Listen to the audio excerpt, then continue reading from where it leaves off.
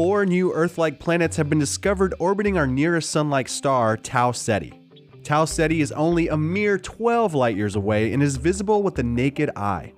The four new exoplanets have masses as low as 1.7 Earth mass, making them among the smallest planets ever detected around nearby sun like stars, according to an article published by the University of Santa Cruz, California.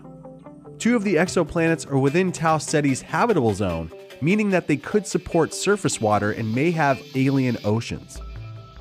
The exoplanets were discovered using astronomical data from the HARPS spectrograph, aka the Exoplanet Hunter, which is part of the European Southern Observatory in Chile, and the W.M. Keck Observatory in Mauna Kea, Hawaii. The last few years, scientists and astronomers have been making lots of new exoplanet discoveries by perfecting a technique for measuring the Doppler shifts and the wobbling of a star caused by the gravitational pull of nearby orbiting planets. Scientists are now able to detect variations in the movement of a star as small as 30 centimeters per second, and they are hoping to soon reach a 10 centimeter per second measurement milestone, which is the limit required for detecting Earth analogs. Read more about the newest exoplanets in the CNET article at cnet.com.